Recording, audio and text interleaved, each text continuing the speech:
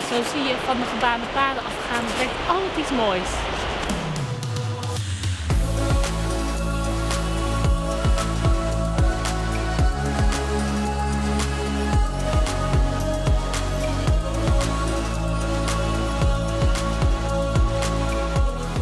Zoals zoveel mensen leefden wij het perfecte plaatje. Drukke baan, we hadden een mooi huis, mooie auto, druk sociaal leven, veel vrienden.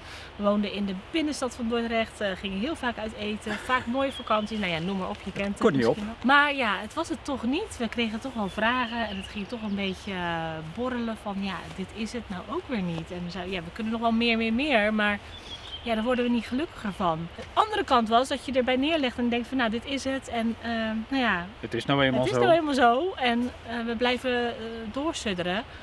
Wat ook natuurlijk een mogelijkheid had geweest. Maar dat was het voor ons niet. Nee, dat moest anders. Het moest wel anders Ja. inderdaad. We zagen mensen die een wereldreis maakten en na een jaar terugkwamen. Heel inspirerend en mooi, maar niet wat wij wilden. Want we wilden onafhankelijk zijn. Waarbij Ja. tijd voor elkaar en tijd met elkaar belangrijker is dan bezig zijn met geld verdienen. En we zagen wel wat digital nomads al in die tijd die remote aan het werken waren. Maar in 2015 was remote werken echt nog niet zo normaal en zo common zoals dat nu is.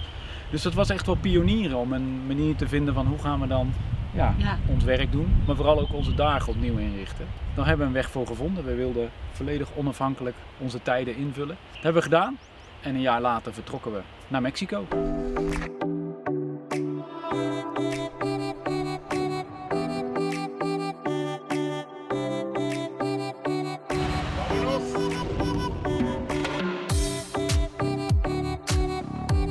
Dit was het plaatje. Het vorige leven, om het maar even zo te zeggen. Ja, dat was waar we in zaten. Ja. Eh, De tijd is er vast gegeven. Maar hoe je die tijd indeelt, daar kan je wel eh, keuzes in maken. En eh, in die tijd was het vooral dat we er geen regie op hadden. Heel veel tijd ging naar werk.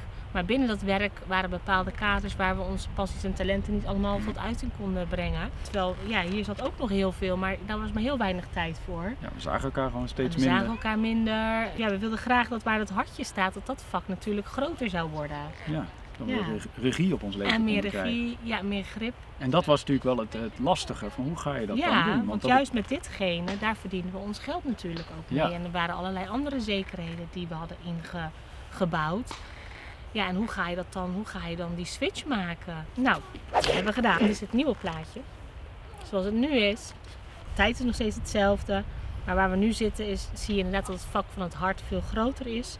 En het gevolg daarvan is dat we nu daar ook gewoon met de dingen die we nu doen, waar we heel gelukkig van worden, geld zijn gaan verdienen. En eh, ja, je ziet het, vooral veel tijd voor elkaar. Veel tijd voor dingen doen waar je energie van krijgt. Dat zijn van die dingen waar je uren mee bezig kan zijn en dan de tijd vergeet. En dit was het vertrekpunt, daar wilden we naartoe werken. En op dat moment hebben we dus een datum geprikt. Een jaar later, september 2016, dan vertrekken we. En in dat jaar hebben we de tijd genomen om dit realiteit te gaan maken. Of in ieder geval daar naartoe te gaan werken.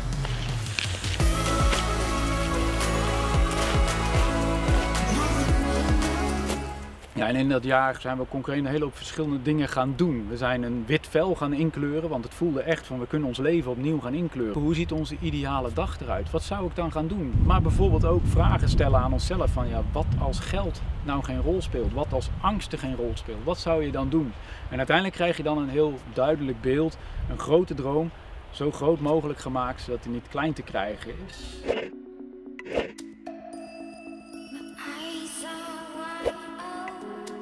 Maar vanuit die droom wil je natuurlijk uiteindelijk wel iets van inkomen kunnen gaan genereren. En daar hebben we dus ook de tijd voor genomen en gevonden ons oorspronkelijk enthousiasme van Anne en van mij.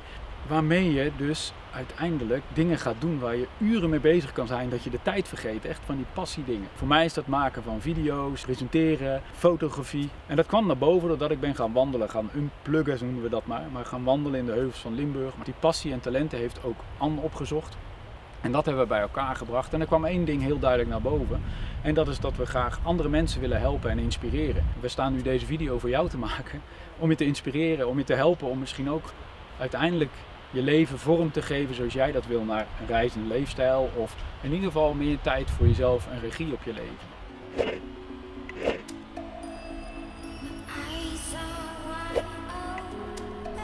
Ja, vanaf begin af aan geloofden we erin dat als we onze passies zouden volgen, onze talenten tot uiting zouden brengen, dat het geld daarna vanzelf wel gaat komen. En dat is ook zo. We, we hebben het ervaren. Uh, tuurlijk zijn er momenten geweest dat het af en toe wel eens even spannend was en dat we weinig op onze bankrekening hadden staan. Toen dachten we van hoe gaan we dit oplossen? Maar dan zie je dus dat er dan door juist door vol te houden en door vast te blijven houden aan je kernwaarden, onafhankelijk willen zijn, zowel qua tijd als, als, als geld, dat dan ineens van, van, van een onverwachte hoek iets op je pad komt uh, wat uiteindelijk weer uh, geld op gaat leveren. Ja, dus dat, dat, dat is wel een hele mooie ervaring.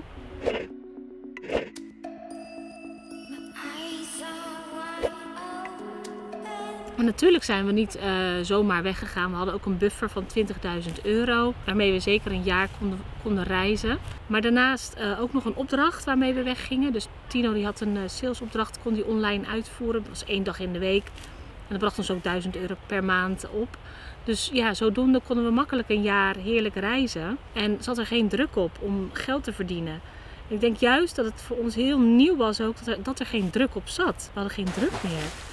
Dus we konden gewoon lekker uh, doen wat we echt, echt het allerleukste vonden. Daarmee hadden, hadden we onszelf vrijgespeeld en konden we gewoon spelen en experimenteren. En onze passies en talenten ontdekken.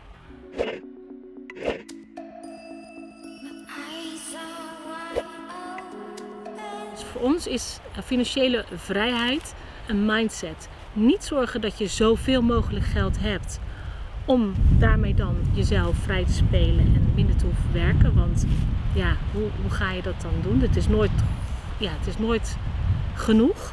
En je zal altijd die druk blijven houden. Maar juist die mindset van ik heb niet veel nodig. Ik ga met minder leven, minimalistische leven. En alleen datgene doen wat mij gelukkig maakt. Met het vertrouwen dat dat genoeg geld gaat opbrengen waarmee je gelukkig bent. De basis. Ja, dat is waar wij in geloven. En dat is die mindset die uiteindelijk maakt dat je financieel, financiële vrijheid ervaart.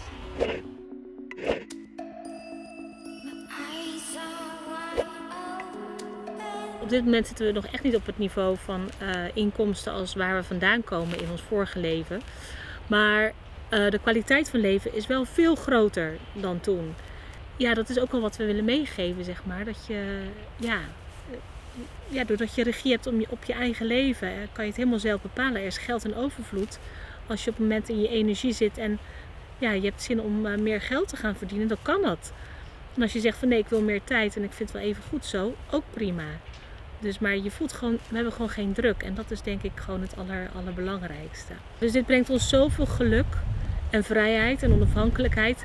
En natuurlijk, af en toe zit het tegen, maar dat staat niet tegenover het gevoel wat we zo vaak hebben. En dat we zo vaak tegen elkaar zeggen van, wat een leven.